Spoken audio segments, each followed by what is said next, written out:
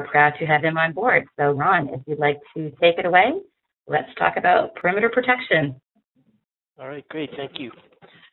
Um, I just uh, I like to start uh, all these talks with some expectation management. As Maureen said, I am uh, talking from Abu Dhabi, so uh, bear with me if there's any internet issues. Um,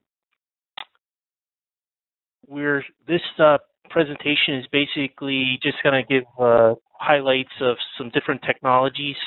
Um, it's meant as uh, an overview and and kind of uh, just kind of a work through on on what goes into perimeter detection systems is something that uh, I found over the years that not everyone uh, specializes in. So we'll we'll uh, work through there. Um, some of the components of, of a great system are are ensuring that you have a layered intrusion uh, detection sensors, uh, great assessment cameras, which are different than general surveillance cameras, command and control platform uh, that gives you kind of the quickest uh, response and assessment time possible. And, and then you have to ensure you have some response capabilities.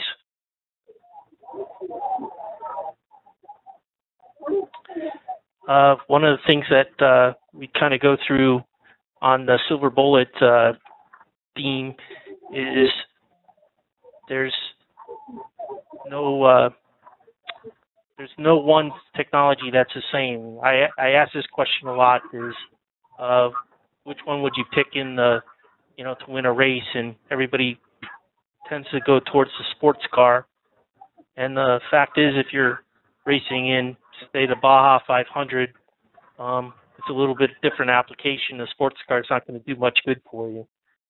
So, um, so we you have to look at uh, every application requires some different tools.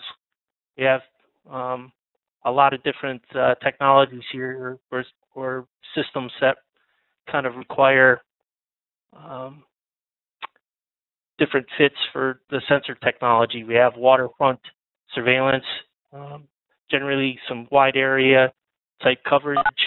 You want to use maybe some radar, longer range cameras. Um, you have substation kind of uh, systems that are unmanned, typically lower bandwidth uh, type applications.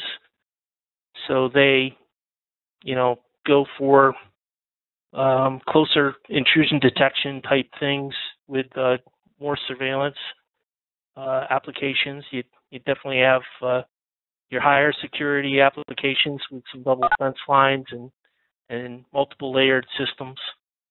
You can get into um, some offshore type things. Again, looking at some radar um, where you need uh, longer range surveillance and more. You don't have as much delay, so you need to uh, have as long a uh, alarm as possible. And then some low, you know, low light environments.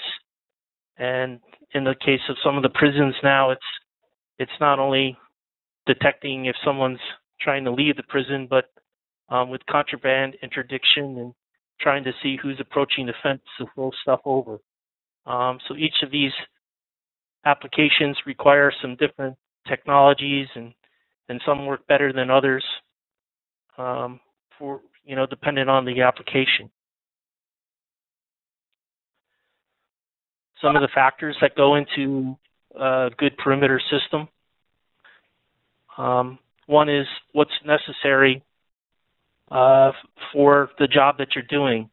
Um, this usually comes down to what the threat is, um, what the chances of that threat um, hitting your facility, you know, the risk side, um, what your operations uh, entail. It doesn't do very much good if there's a, a full-blown security system if the plant can't operate or the, the facility can't operate properly. And, you know, as we all know, what happens, uh, how much budget you have available to put towards a solution. Um,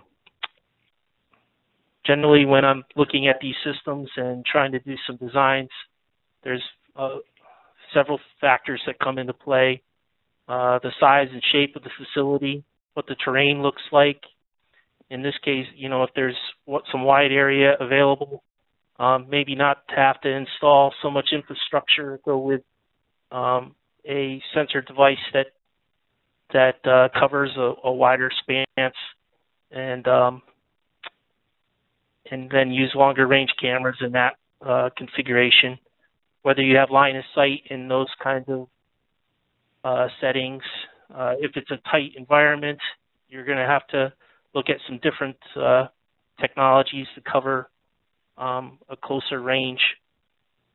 Uh, the, your temperature has a lot to do with, with uh, what technologies you use and, and again, what the environment is, fog, heavy snow, um, whether snow piles up in certain areas, uh, rain, those kinds of things. And, um, and then you have your operation uh, considerations. Again, what the uh, work hours look like.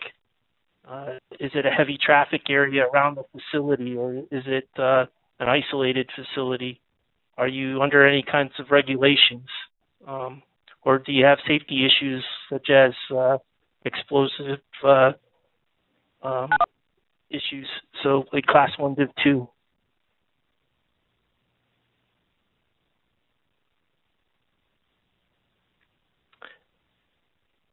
Every application requires some different tools. Mostly, um, what I've found is the the higher the security level, the more layers you, are going to want to put um, around the asset to protect the asset. And um, this is mostly because not one of these sensors has 100% probability of detection. Um, each one has strengths and weaknesses, and when you layer uh, complementary systems, you can kind of balance out what the strengths and weaknesses are for each technology. And that's what we're looking at doing um, from the lower risk sides may, may only take a couple layers to the high risk sides um, taking several layers.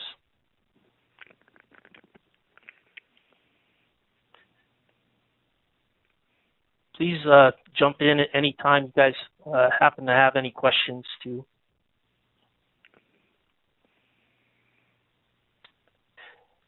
some of the basic types of uh, perimeter detection detection systems or sensors out there. Um, two basic variations, linear type devices and volumetric. Um, each one has, again, some benefits and drawbacks. And uh, we'll go through in the next few slides and kind of talk more to each, each type of device.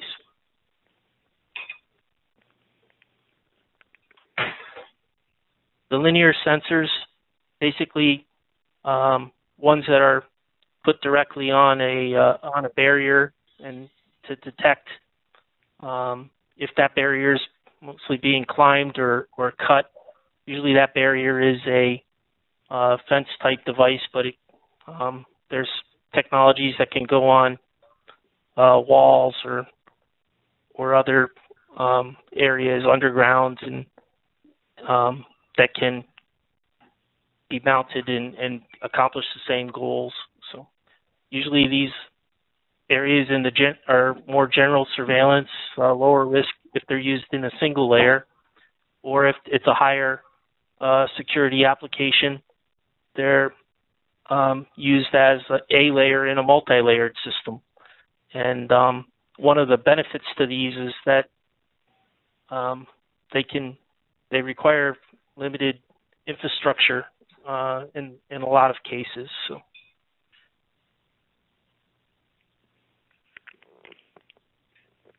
So some of the pros of, of a linear type system, they're cost effective. They don't have a very big footprint because they're on on the uh, perimeter directly.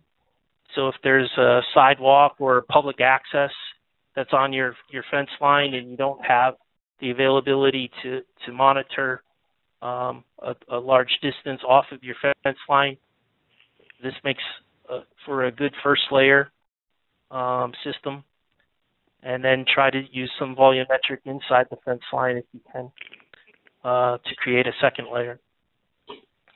Again, limited infrastructure requirements, and um, these generally have the ability to to um, cover longer distances when you talk about uh, fiber optic technologies and, and that, um, all the way down to you know some of the um, more analog systems in the copper uh, side of things, and um, for for smaller sites um, are very good too. So some of the cons. Hey, Ron. Ron, can I Yes. can I interrupt you for a moment? I have a question coming in. Sure. Somebody's asking, is this a capacitance-based technology? A capac- Well, I'm, I'm kind of I'm talking uh, some general, um, again, just generally about what the linear systems are. We can go into um, some of the the next slides. We'll talk a little bit more detail about uh, the types of of systems in there. Again, it, this is a very uh, kind of 30,000 foot level overview of, of some different systems and and some benefits and and um, of of layering the systems and, and what to look for when you're putting a system together. Okay, so so we can continue with what you're doing, and um, Ron, who asked the question, will get back to you, and we can talk about that later in a little bit more more detail if, if we go off uh, if if we don't get your answer here. Thanks. Some of the cons of, of the system, they're relatively easy to, to defeat in, in bypass mode. If you have a um, six foot fence with a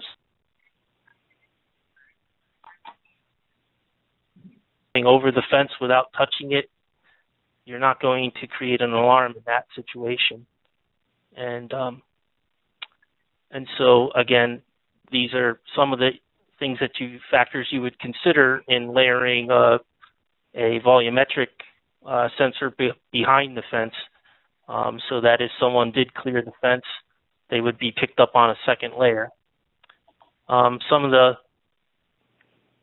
other considerations are um, when they're when these systems are configured in longer zones, they have shorter response times. So you're going to have to um, get a camera on the system for your assessment capability pretty quickly.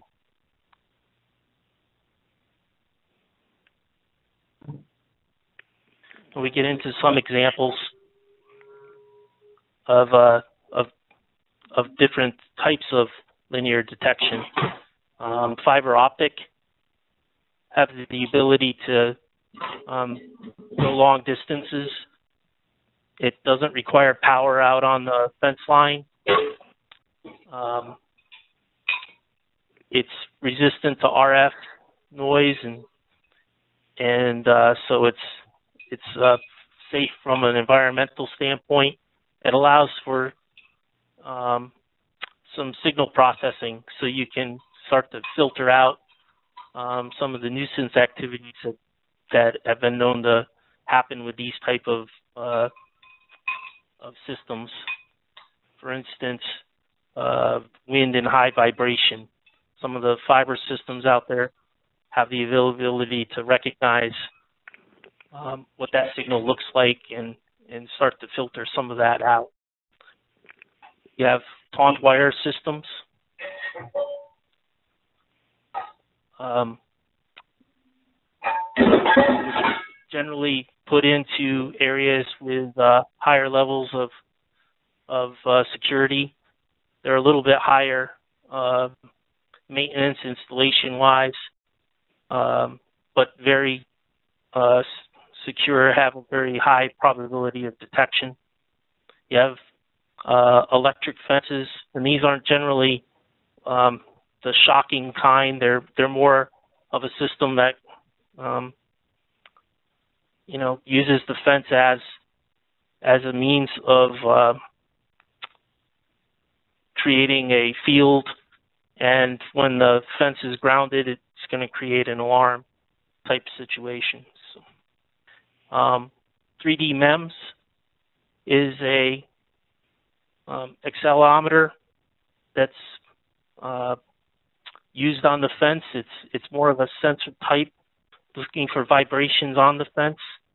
Um, the 3D side is a combination of several uh, units, and and they're connected um, via copper cable usually, and and um, look for again different signal vibrations on the fence.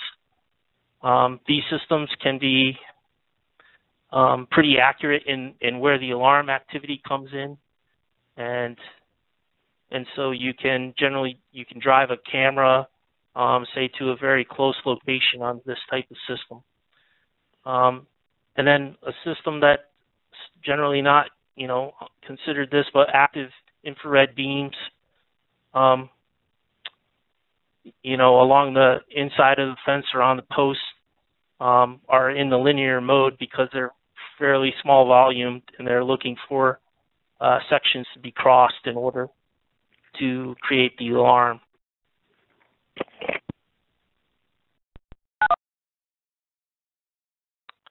Some of the activity or uh, the other side of the system or basic types are volumetric intrusion sensors.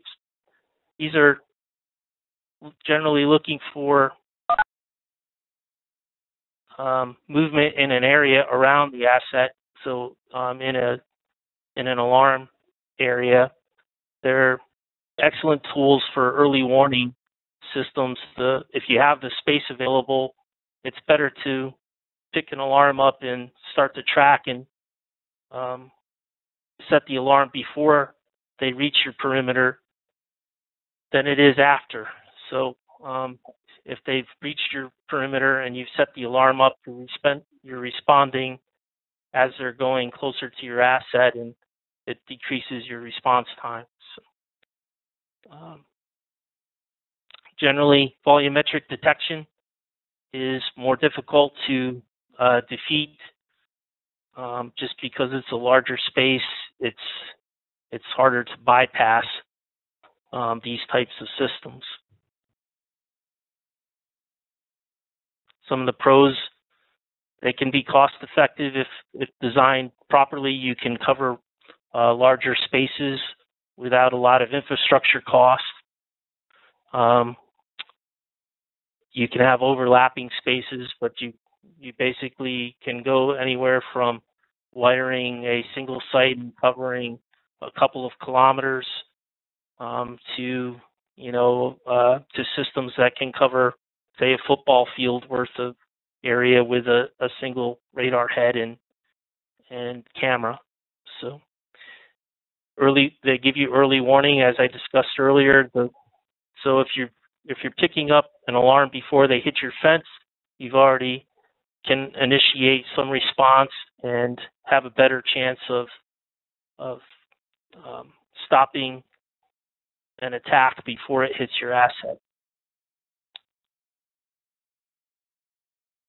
Uh, one of the other big benefits is with these uh, types of uh, um, sensors, they can generally do geospatial uh, type of settings, so they can reference uh, where they are. This uh, plays in well to the command and control aspect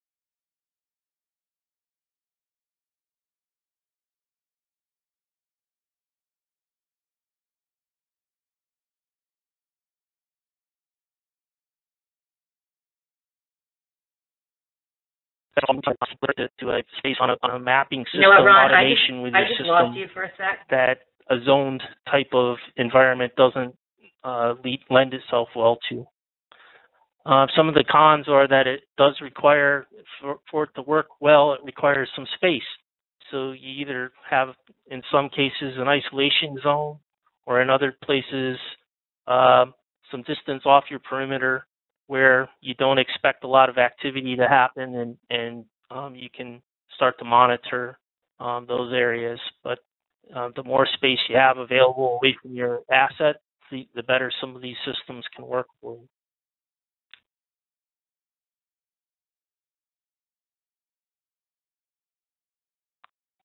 Some of the types of systems that we're talking about here, uh, microwave. Microwave can come in um, bistatic and monostatic. A bistatic system is a transmitter receiver type head, um, generally creating a uh, football-sized uh, RF shape between the transmitter and receiver. Um, can range in short distance out to a few hundred meters generally. Monostatic systems are a transceiver type of environment, um, little wider uh, bandwidth, um, but shorter range typically. Um, they both have their their uh, benefits depending on what that application is. Um, they also have a couple of uh, different types of one is an older type system zoned um, where you're in analog mode and you're breaking a beam and whatever the distance between that transmitter and receiver is is what your alarm zone is. Um, some of the digital side of things allows you to um, do some signal processing a little cleaner um, because there's some better intelligence in the, the componentry. It also allows you to do fine tuning of, of uh, the heads in different environments. Um, passive infrared detectors are in in the volumetric side. They're generally a uh, a transmitted uh, distance. They're looking at uh, shorter ranges typically, and um, this is again in an outdoor mode, but but many people know them as what uh, opens doors and on the inside and and uh, typical alarm setups on the inside. The outdoor versions are a little higher capability. Generally, um, are looking at uh, a few zones within the alarm area and and can do some basic uh, size and motion determinations with them. They're typically matched up with a fixed camera, and that fixed camera uh, is directly tied to the the uh, zone alarm, so that when it goes off, the camera can immediately put a picture on the, the screen of what the alarm looks like. These systems are typically put in a chasing pattern around a uh, fence line and um, require some infrastructure, but they're they're not they're fairly uh, mid-range on the expense side. Um, they're they're a mid-level type of uh, security platform. So, video analytics. Um, there's this term that gets used quite a bit. Um, there's the technology has been improving over the years. Um, there's many algorithms now that do different rules. Um, there's companies that um, can do fairly small um, pixel on target type of algorithms. Um, I, I, would say this with analytics, if you're looking at systems um, and you've had bad experiences in the visual spectrum in the past, look at thermal. Um, thermal imagery is coming down in cost and it uh, does quite a bit for filtering out uh, a lot of the environmental alarms that, that would occur in the past with different systems. Um, so there's there's many companies out there. You can go from companies that do everything um, integrated with the imager itself to companies that do server-based analytics um, to other you know companies that do basic motion and and uh, on an edge device type of uh, platform. So uh, again, each one of these different type systems have their advantages and disadvantages in the system and and it comes down to what that application is, how long the zones are, what the environment looks like. Um, if you're if you're looking to do uh, slew to cue type tracking, you need some more advanced type systems. Um, but it's a it's a viable uh, solution. One of the big benefits is when it's used, typically the alarm comes in and your assessment, your initial assessment capabilities are right there because the imager is what's creating the alarm. So um, that's a huge advantage on the response side. On radar, there's a, a lot of different uh, types of radar. Radar has been coming into play um, on the commercial end of the business for probably about the last six years. Um, you know, it was primarily a defense type of of uh, industry uh, sensor, but the cost is has been steadily uh, coming down. There are some systems that'll cover a football field for in the list price range of say fourteen thousand dollars for the sensor now, which when you're talking that area and you don't have to do a lot of infrastructure is a big cost savings. So um, those are some benefits if the space is available. They are reliant on having line of sight. They don't go through through buildings and things, so they're they're designed for covering open areas. Um, but they do have the capability of of setting uh, specific alarm areas within the coverage point, and they do filtering on some target sizes and what the vectors look like. Um, so there's some some advantages to it. Uh, radar also is a very good um, sensor technology for going through most um, environmental conditions. That wavelength is very good at at going through things that uh, visual spectrum cameras and and other uh, sensors have an issue with.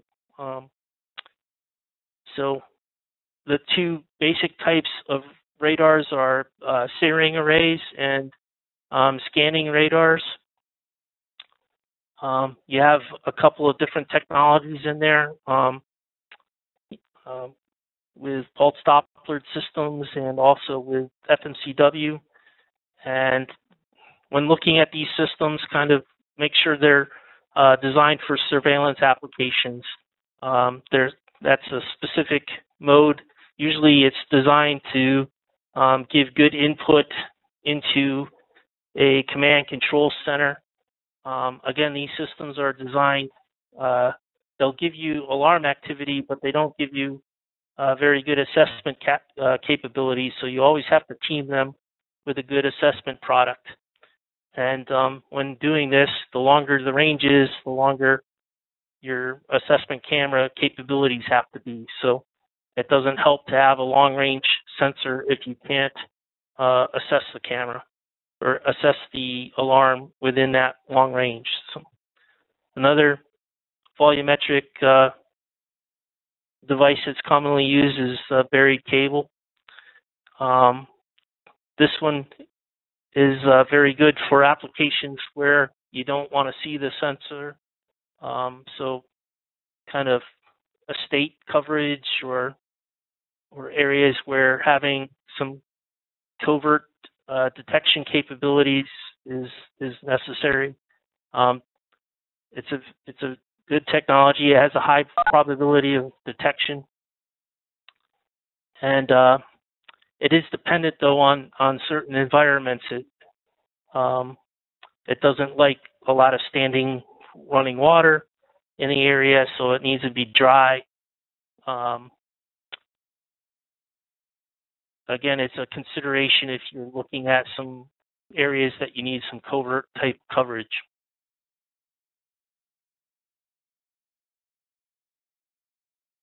When we get into the assessment camera process, um, the most important part of this is you can have all, the best probability of detection in the world with your sensor capability. If you don't have a good means of assessing or validating the alarm, it does your your system no good. So um, ensuring that your camera is lensed properly, that it can see 24/7, um, that it can see in the environment that you need it to see. Um, some examples in lighting, inconsistent lighting uh, situations, um, like you see on the left, having a capability of doing kind of dual technology, day-night camera uh, during the day, getting visible spectrum, and when you have low light issues or you have gleaming lights in your scene, to be able to switch to thermal. Um, again, these costs of these systems are coming um, down drastically and becoming more affordable. and and they're important when you're putting these systems together that you can assess the alarm activity 24/7 whenever you, you need it. So the picture on the right here kind of demonstrates um, some benefits of using thermal and uh, capabilities over visual spectrum in some cases. If you're looking at a substation with, with wooded areas around the substation and and you're getting alarm activity, um, being able to, to see or detect heat is is an important feature set.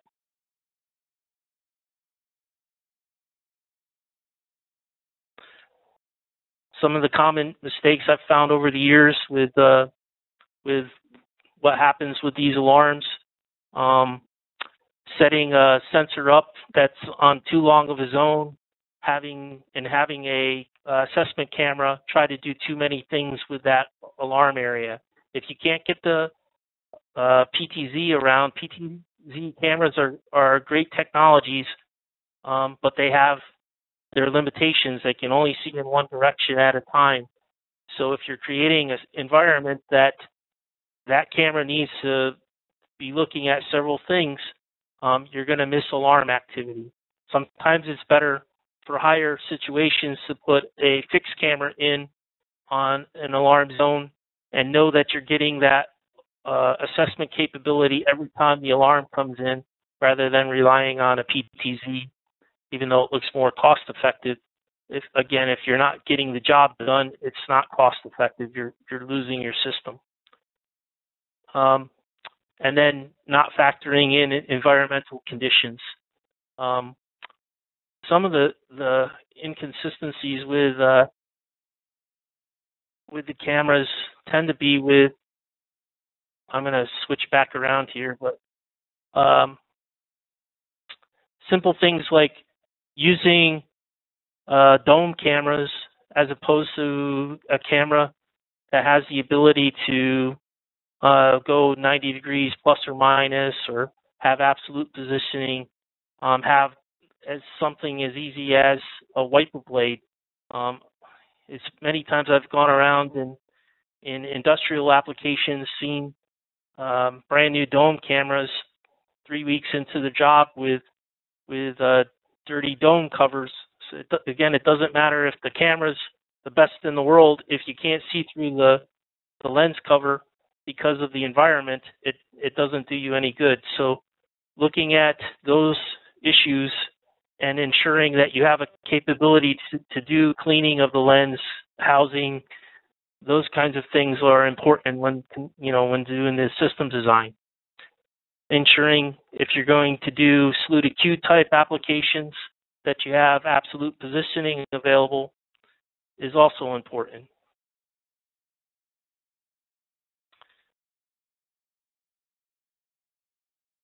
Um, a lot of differences between the functions of the assessment camera and the general surveillance camera. Um, kind of went through some of these, but um, you're you're really concentrating on lensing a camera to look at the exact zone that that you have set for your alarm capability. That's the most important thing.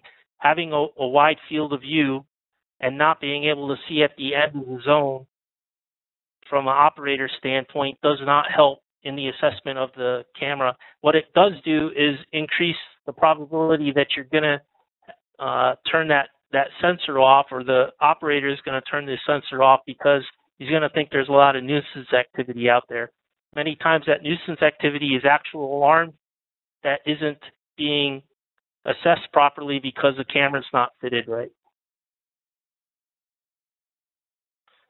Some of the other considerations to think about um, in, in, in a harsh environment, whether it's a class one div 2 type environment that you, you need to see.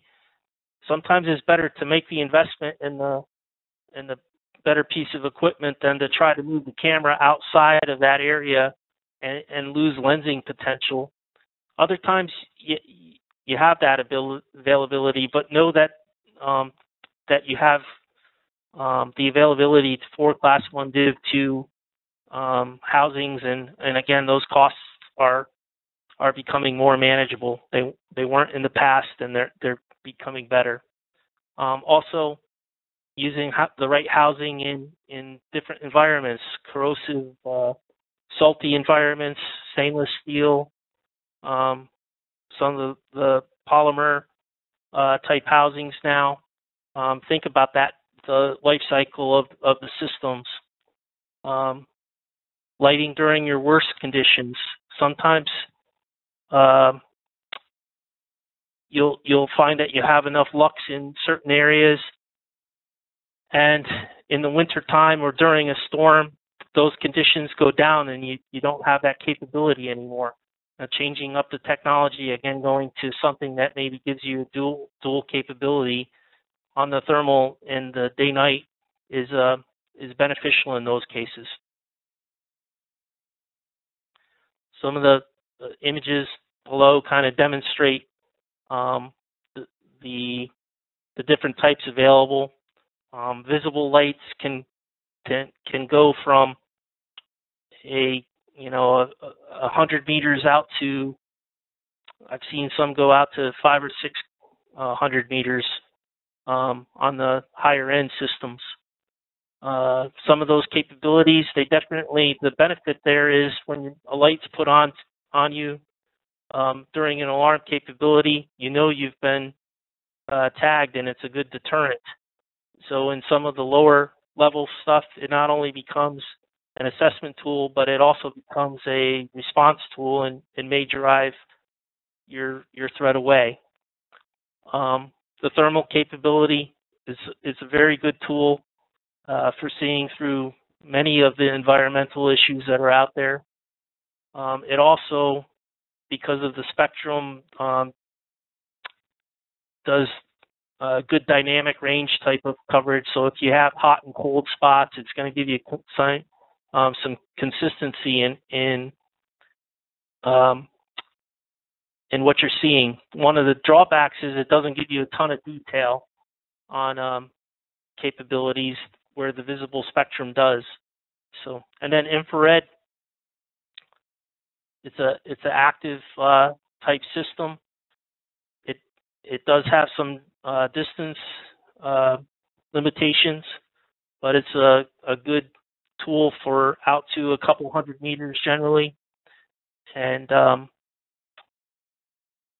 and again, it's a good medium tool. They do tend to require um, more power than say a thermal type camera. So if power is one of your limitations on the job, uh, take a look at the, the thermal aspect over the infrared aspect, even though the, the camera may seem uh, less expensive, um, you could be saving money in your infrastructure costs.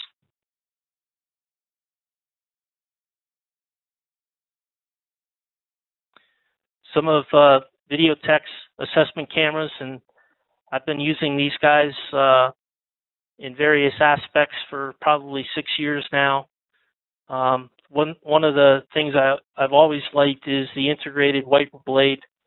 Um, again, I know it sounds like a more trivial uh, feature set on, on a camera, but um, I found many times in the environments that I've worked in, chemical sites, utilities, that uh, the environments are prone to to to dirt and wind uh, conditions and and those lenses get dirty and and no matter what your maintenance plan is it's uh, difficult to keep cameras at tops of poles clean. So um, having the wiper capability is is a big benefit there.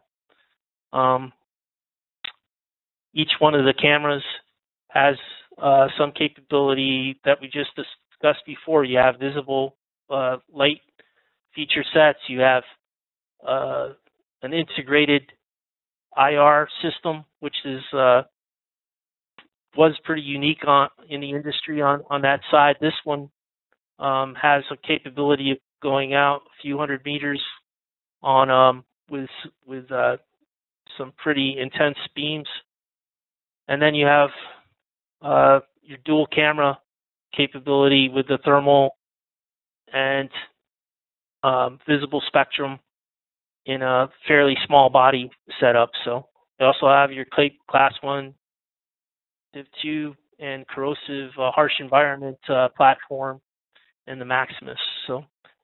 Um, I've used all of them. They they all work very well. The ONVIF uh, um, protocols, you know, make it pretty easy to integrate them with different systems.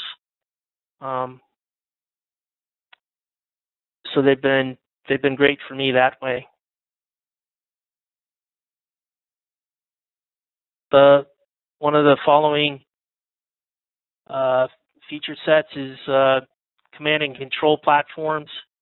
I, I kind of um, sticking on the system uh, on the PSIM side of things here, more digital um, way to go. This is the more up-to-date uh, version, and there's a lot of different uh, um, variations of PSIM.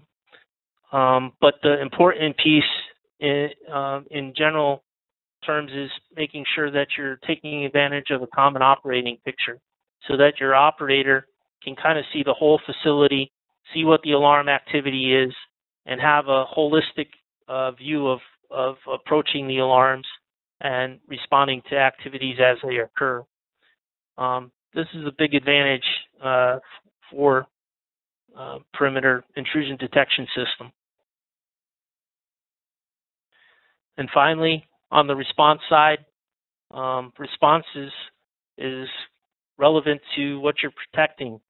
Um, you can go from a technology type solution, as you see in the lower left, with a audible type uh, alarm capability, where you're from an operator remote operation standpoint telling the person, you know, you in the blue shirt, you're on private property, get off, to being able to turn a high pitched uh, sound on that person in a very concentrated mode and be there.